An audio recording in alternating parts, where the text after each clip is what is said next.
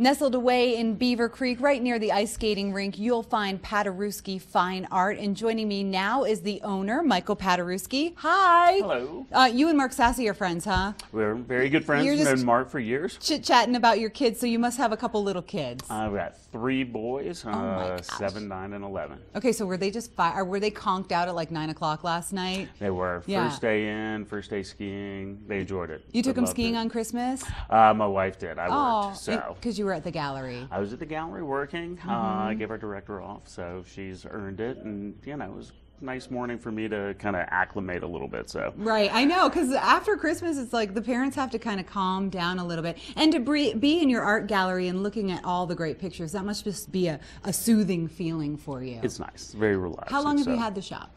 Uh, I've had the gallery in Beaver Creek now through three expansions. We're going on about 13, going on 14 years now. Okay. Um, but founded it in Atlanta, and I was there for 15 years. And we just moved our Atlanta gallery about two and a half years ago to Charleston, South Carolina. Okay. So, yeah. So art is your background?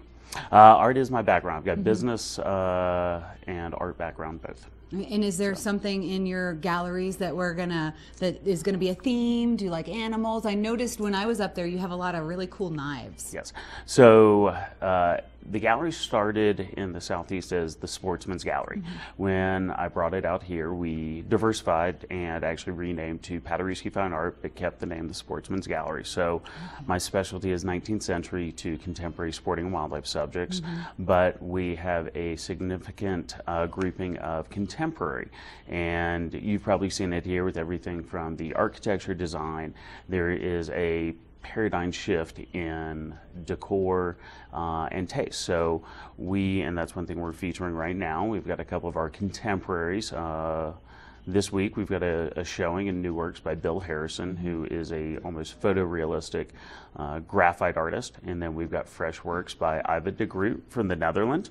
So yeah, this is one of Bill Harrison's uh, graphite pieces. He considers himself a portrait painter, and that's Ewoud de Groot from the Netherlands, um, who has just it's astounding what he's done in the United States, but he's already in the permanent collection of the National Museum of Wildlife Art in Jackson, uh, as well as the Leigh Yawkey Woodson Museum in Wausau, Wisconsin. Uh, another one of Ewoud's. Um, he does these very serene, uh, a lot of times it's almost shades of blues, grays against warm browns and yellows, and that can be his entire palette. So.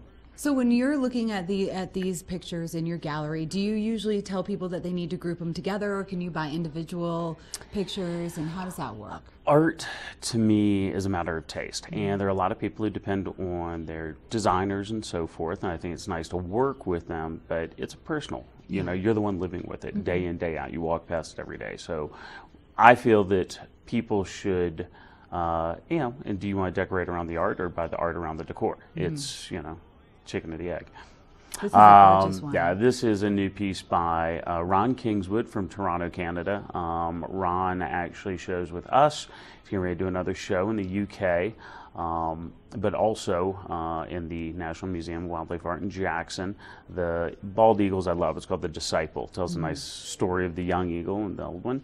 And this one's called The Gleaners. So he himself, uh, a lot of people feel uh, he and Ewoud both have been kind of named as these contemporary artists who are bridging the gap between fine art and kind of a wildlife art. Um, Ron Kingswood actually, most of his compositions are extremely sparse, uh, barren, and they're usually composed of geometric shapes, and then he places the birds where he feels uh, they best fit, not a portrait.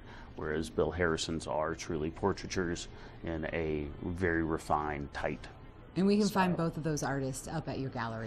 They're all in there now. Yeah. A lot of wonderful fresh works, Good. and uh, we're excited for the uh, winter season. Okay, so it is time to go shopping up in Beaver Creek. Go meet Michael at Paderewski Fine Art. What time do you open today? Today we'll be open at 10, and during the holiday season, we're going to be open till 9. All right. Well, nice, don't uh, work too hard. Get out there with Yeah. those kids. Go sledding with Mark Sassy. I know that's what he was talking about. Take time to play, okay? All thank right. you, Michael. Well, Thanks for coming in today. guys. Paderewski Fine Art can be found up in Beaver Creek. Ty Diaz can also be found up there. So we're going to head up to Beaver Creek right now and check in with Ty.